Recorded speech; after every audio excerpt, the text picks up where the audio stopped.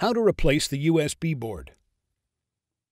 Before you begin, remove the base enclosure, battery, and DC in connector.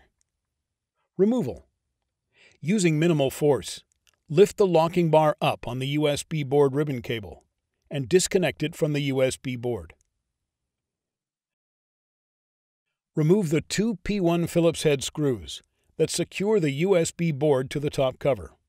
Lift the USB board off of its alignment pins on the top cover and remove. Replacement. Place the USB board into position on its alignment pins on the top cover. Replace the two P1 Phillips head screws that secure the USB board to the top cover. Insert the USB board ribbon cable into the USB board ZIF connector and press the locking bar down to lock the cable into place.